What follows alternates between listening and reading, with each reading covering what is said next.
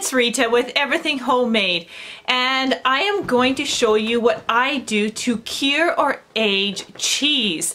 And this was a question that a lot of people asked me when I first put out the series on how to make cheddar cheese. And at that point in time, we were just eating the cheese basically fresh as I made it. But since we have a milk cow on that produces a lot of milk, I now can make cheese that I that we can eat fresh but also store. So how do you store your cheese or how do you get it ready for storage is what I'm going to talk about today. I'm not going to tell you how to make cheddar cheese. I've done that already in another segment which you can see at the end of the video. I'll link the playlist to that and you can definitely watch that particular series. But after all your hard work on making this beautiful block of cheese, what do you do? And that's what I'm going to answer today.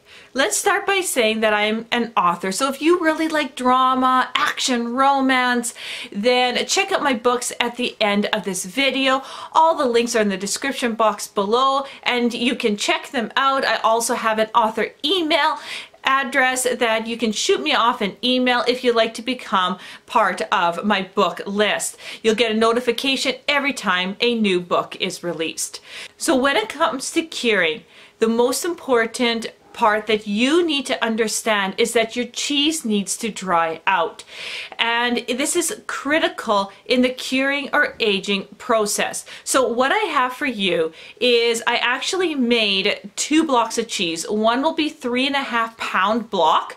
The other one is much, much smaller. It would be more like your 300 gram block um, cheese. So I'm going to talk about both, but then I'm going to show you examples on what a fresh block looks like and what a cured block looks like after seven days and then almost a cured block about 10 to 13 days after. I'll also show you what happens when you don't cure it properly, what it looks like in a package. I like doing stuff simple, so I don't like to have a lot of I like to do stuff the most simplest way to get the best results. I don't have a lot of time to fool around with with waxes and proper humidity and having a cheese cave. I don't have the time. Let's just face it. I have six kids. I run my own business. I'm a homeschooling mom. I I do home, I do, I live on a farm, um, so there's lots of critters to take care of. I also do, do YouTube, and I do so, I'm also an author, like it just keeps going on and on and on, and I gotta fit this all into my day. And I don't got time to fool around with all the nitpicky stuff that cheese making has to do, but you don't have to, is what I'm saying. You don't have to. There is a simple way to do it, and and mine is just using the regular fridge that everybody has. You can cure your cheese in there. So, no fancy ordering, no fancy tools. Most people will have everything they need to cure their cheese right in their home. And I'm going to show you a couple different methods and you'll be blown away on how easy it is to get a beautiful cure on your cheese. So the very first thing is that I have my two cheese presses right here. In this one here, there's less weight and I have my smaller block in. And this one here that has over 90 pounds of weight on it is my much bigger block, the three and a half pounder. So I'm gonna remove the weights, take out my fresh cheese and show you what it looks like.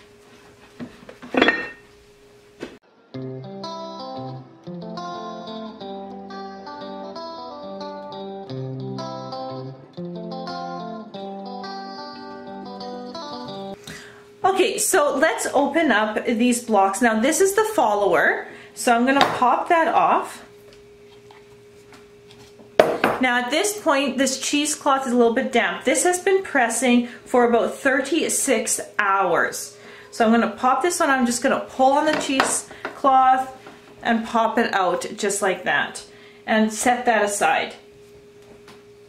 So you can see how beautiful that this looks. When you touch it, you can feel the moisture. You can also feel it's spongy. so on each side, but it holds really good together. My hands have that have that moisture and that's what you need to get rid of when you're curing and aging. So I'm just going to put this one on the plate for the moment and just set it aside. Next, I'm going to grab the smaller version of it. Now, you'll notice that there's herbs in this particular one. I love making different flavors. It's the spice of life, isn't it? So this one's a much smaller um, cheese block, like I said, it is, right? You can definitely see. And, um, but it's the same thing. It's moist, it holds together well, but you also need to age this. So I'm going to set this on the plate. So now you can definitely see the size difference between the two cheeses. So let's take a close-up look at it. Look at the color. Pay attention to the color. It's going to be critical here. You see how, how white it is? This is what fresh cheese looks like. Again, when you touch it, it's a bit moist. So if I put a little bit of pressure, you can actually feel the, the wetness of it and that's okay. Now there's lots of the whey is out, but you always retain some, and that's what you need to um, air dry it out. And same with this one here, look at the beautiful white color. And it's really important because the curing of it, I tell by the color of the cheese. So this is what it looks like when it's fresh. So let's set these to a side and I'm gonna go over um, the color first and then I'm gonna show you how and what you need to, to have when you cure it. So let's take a look at this one here. This one's been curing for seven days. And let's just do a comparison side by side here with a fresh cheese. Now I'm going to hold the fresh one on a plate because it is a bit moist. So take a look at the different color. It has nothing to do with what these are flavored um, with. This one's sweet basil, right? And this one here is black peppercorn. That has no factor.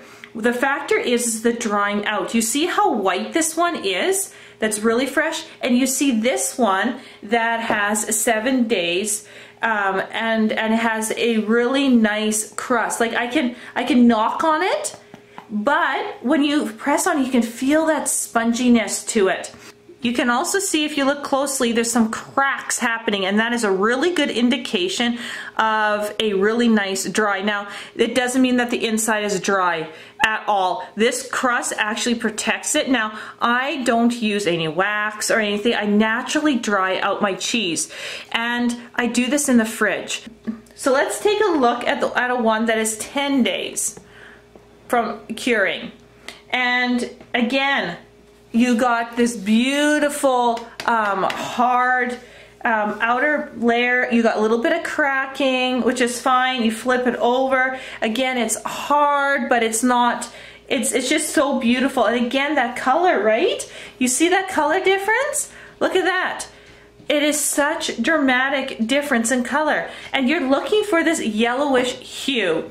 I'm not using anything to color my cheeses so if you are using it, I'm not too sure what what color you're looking for because I'm just going all natural here. And this is a cheese block that would be a um, between a cheddar cheese and a Havarti. So this is a beautiful looking cheese and this one would be ready to be um, sealed up and ready for long-term storage. So how do you get to this point? It's very simple. So the first thing you need to do is have your fresh block of cheese. That's a given. The next part is you need a plate. Everybody has a plate. Okay, the next thing you have is a couple of options here. One, you can use a wire wire cooling rack, and that's what I use. I actually order these ones. This is a nine and a half inches in diameter and I ordered these off of Amazon. They're like $6.99. So I have four or five of these because sometimes I have four or five blocks in concession of um, being dried at the same time. So I ordered these. So again, a very cheap, cheap thing to buy. What if you don't have one of these? Well, the other thing you can do is on these blocks, you can take your cheese block off and you can put some knives and as a cooling rack replacement just like that and then you place your cheese on top. Look at that. The, the biggest thing is, is what you want to do is lift your cheese up so that air circulation can come underneath and on top. That is the key. So if you don't have it, what happens is, is that it condensates underneath and you end up with this condensation where you got to lift up your cheese, wipe it, and you can, you know, grow mold. But if you have proper circulation, just lifting it up, no problem that everything cures and, and, and it cures evenly at the same time. Okay, so how simple is that? If you can have some bread knives and a plate, you can cure cheese. So what I want to do, what I like doing is I obviously have a cooling rack that I use just for cheese. And I really stress that because everything I use for cheese is just for cheese. So it doesn't go doesn't get cross-contaminated with anything else. I put my cheese on top and I put it in the fridge. How simple is that? Just your fridge. I put it in the back of the fridge and then after 24 hours, I will flip the cheese over. Okay? If you don't flip your cheese, your cheese then will settle in these wires and will look something like this. It will actually dig in. After 24 hours, you'll get you'll get a really nice crust and you can see the and you can see the wires on this one. I can, I hope you can. They're pretty faint, but because I flipped it in time, it didn't settle into it. So you just need to flip it after 24 hours. After that, I don't even flip it at all. I just forget about it for about 10 days and then you end up with a beautiful cheese. So you tell me how simple that is. What you're looking for is just that beautiful crust, that beautiful yellow glow. That that and when you feel it, there's no moisture, it holds its shape. If you press on it, if you press on it, it's not going to go anywhere. Um, that's what you're looking for.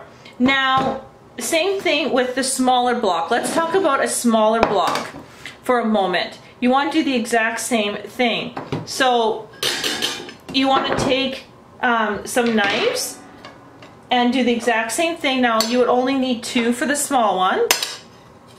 And just kind of balance it there. we go. Put it on there just like that. Turn it after 24 hours. But the curing time is going to be much less. For these small blocks, three days and it's all done. Again, turn it after 24 hours because you'll have that nice crust on it and then leave it in the fridge for three days and you're good to go. With the big guys, at least 10 days. And if you have a rack, then use the rack, just like that. Same, same thing.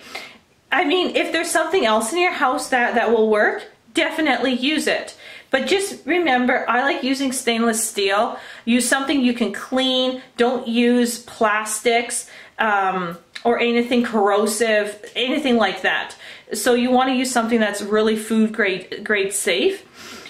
And that's, that's how simple it is. And then you achieve a beautiful, beautiful cheese. Now, what if you don't let your cheese cure? What, what if you just leave it like this and package it up? Well, you get this really kind of sour aftertaste because of the whey. The other thing is, is when you want to package it up, um, I vacuum seal all my cheeses. And this is what happens when you don't cure properly. It basically kind of starts flattening out after. So you want it to retain this really nice circle. And what happens if you don't cure, the, the, the cheese you know, I cured this one for four days and it obviously, um, I wanted it to be an example. So I cured it for four days, put it in the fridge, vacuum sealed it, and it has been in the, it is October 6th, so it's been in the fridge for a month. And look at what happened, right? It kind of goes out of shape. And that is just because it didn't have enough and you, enough cure. And you can see the color difference. So you're really looking for this yellowish, um, color. The one that says, yes, I'm going to hold together. That's what you want. So when, when you cut this open, you can actually eat this. This is totally edible. And, and uh, it's beautiful cheese. Absolutely beautiful cheese. So that is the biggest um, tricks and hints that I can tell you with curing cheese in the most simplest way without brining it, without having a cheesecake, uh, without having a cheese cave, checking humidity, um, all that kind of stuff. I haven't grown mold with this method at all. And it comes down to salt content as well. So let's just talk about that while I'm thinking about it actually.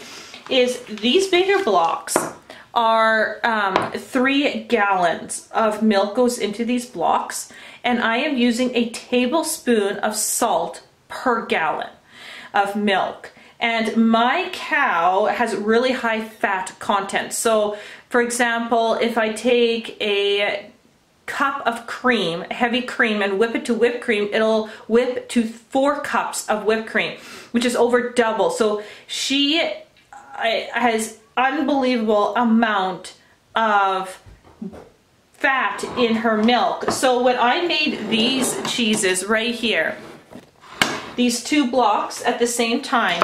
This was from three gallons of milk. So I got a 3.5 pound block and about a 30 gram block. And I have this little one because these curds didn't fit into my form. So I have also a smaller form. But that's that's she's just so awesome where I can have less is more with her. She, she just has so much milk fat and it, it just it just makes such a delicious cheese.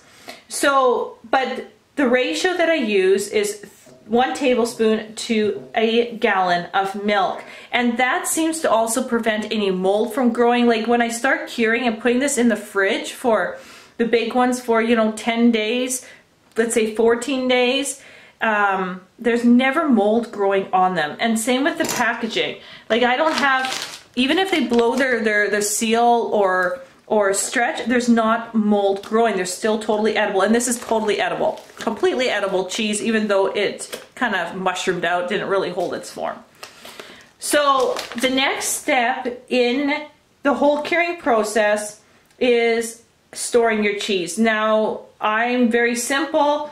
I don't store in a brine or with wax. Again, I just use my vacuum sealer um, that that's simple. I just vacuum seal all my cheeses and it works out great. And if you have a nice um, cure on it, it will keep its shape just like that in a vacuum seal. Play with it a bit because let's say your fridge is maybe a little bit warmer than mine or cooler than mine or your humidity is a little bit different. Just check. But use the, the your, your feel use your eyes and see the difference in color and just experiment a little bit. I usually package mine between 10 and 14 days to, to cure the big blocks. I package mine at about three days at, when they're the little tiny blocks and I have great success. So when our cow dries up, we have cheese through that lull that she's dry and it's wonderful, absolutely wonderful. So if you have any questions on this process, let me know. Now I haven't done stuff with waxing or fiddled with all the fancy instruments that you can use for cheese making. I like keeping it simple. So this process works really good for me. And to be able to make fresh cheese for the family is completely rewarding. It also makes one of the best gifts because when people know you can make cheese and it's creamy and rich and full of flavor. It makes the greatest presents ever. So it's it's um, been a pleasure to really perfect this method and to bring to you something that is simple for everyday busy people that want to just make cheese, cure it, age it, and love eating it. So thanks so much for watching and I'll see you on the next video.